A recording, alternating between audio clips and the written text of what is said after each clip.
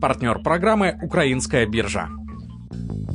В 1966 году в журнале Fortune вышла статья под названием «Джонс, за которым никто не может угнаться». В ней шла речь о фонде Альфреда Джонса, созданного в 1949 году. Его результаты почти вдвое превышали показатели лучшего взаимного фонда того десятилетия. Эта журнальная статья взбудоражила умы инвесторов, и в последующие три года появилось около 200 хеджевых фондов, включая инвестфонды таких звезд, как Сорос, Стейнхард и Баффет. В начале характерной особенностью таких фондов являлось то, что они хеджировали свои рыночные позиции от падения цен с использованием левериджа и коротких продаж. Впоследствии хеджевыми стали считаться инвестиционные фонды, применяющие широкий спектр различных стратегий и инструментов. Хеджевые фонды недоступны широкому кругу лиц. Минимальные взносы инвесторов тут исчисляются миллионами долларов. Сегодня в мире существует порядка 12 тысяч хеджевых фондов. Под их управлением находится свыше 2 триллионов долларов. Здравствуйте, в эфире «Биржевая азбука», цикл программ о том, как зарабатывать на фондовом рынке. В студии Виталий Школьный. Тема этого выпуска – хеджирование.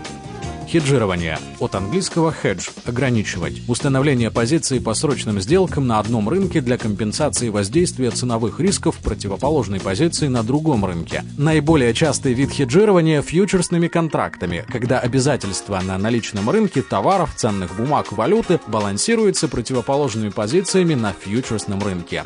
Таким образом, любое изменение цены приносит продавцам и покупателям проигрыш по одному контракту и выигрыш по другому. Благодаря этому в целом они не терпят убытка от повышения или понижения цен. Например, золотодобывающая фабрика, которая производит золото, они всегда хеджируются в случае падения, то есть они по его производят, и в случае падения э, сильно большого курса на спотовом рынке, они просто, например, покупают пут-опционы, и, как так называется, они хеджированы. То есть, если вдруг цена на золото упала, то они всегда могут продать золото по определенной цене. Вы предполагаете, что рынок будет корректироваться э, и э, индекс может снизиться.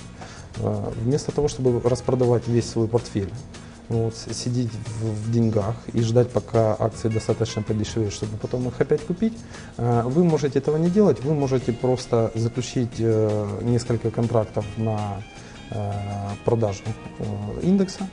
Вот. И таким образом, э, если рынок развернется и начнет падать, да, ваш портфель акций подешевеет, но вы то, что потеряете на акциях, вы заработаете на срочном рынке.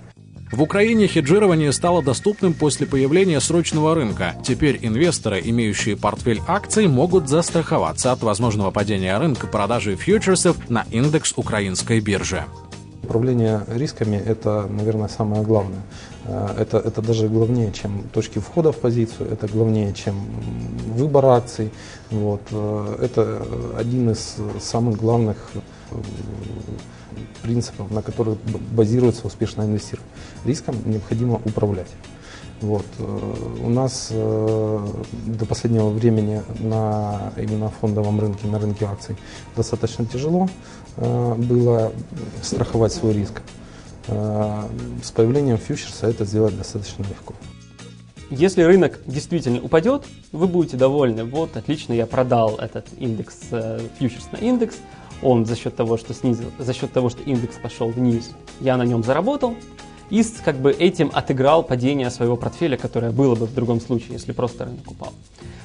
Но если рынок пойдет выше, то тогда ваш портфель первоначальный будет зарабатывать деньги, а на фьючерсе, которым вы хеджируете, у вас будет собираться убыток. И это может как бы не понравиться, но в этом и есть суть хеджирования. То есть идет просто закрепление, обезрискивание текущего положения дел.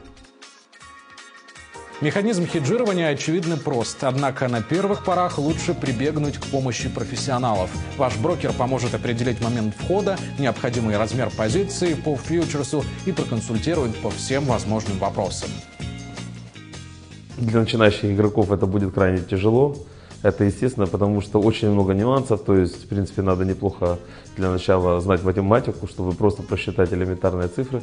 А обычно хеджируются или фьючерсами, или опционами, но это более сложные продукты, поэтому, в принципе, для начинающих людей я не рекомендовал бы очень агрессивно этим заниматься.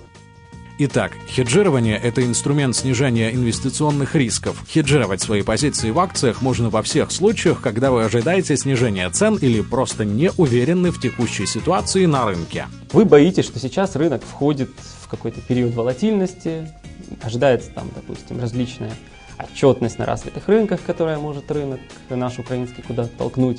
То есть, если есть неопределенность, которая выходит которая для кого-то видна по графикам, что график, допустим, да, технический анализ не показывает четкого направления. Или для человека, который смотрит на фундаментальные факторы, он не видит четких трендов в прибыли компании или в мультипликаторах, как они оценены. Ну вот в ситуациях такой неопределенности, пожалуй, именно тогда хеджирование имеет смысл. Точку не ставим. Тема следующего выпуска биржевой азбуки – тренд или коррекция, признаки разборота. Не пропустите. Партнер программы «Украинская биржа».